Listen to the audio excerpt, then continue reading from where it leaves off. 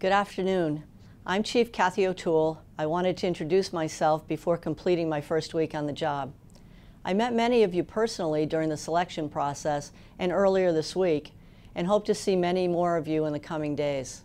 I plan to spend lots of time in the field interacting with police officers on the front lines and members of the community we serve.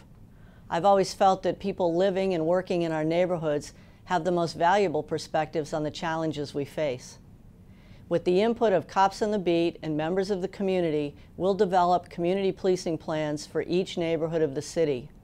Going forward, you'll hear me talk a lot about our four priorities restoring public trust, restoring department pride and professionalism, addressing crime and disorder issues in our neighborhoods, and also managing effectively and efficiently.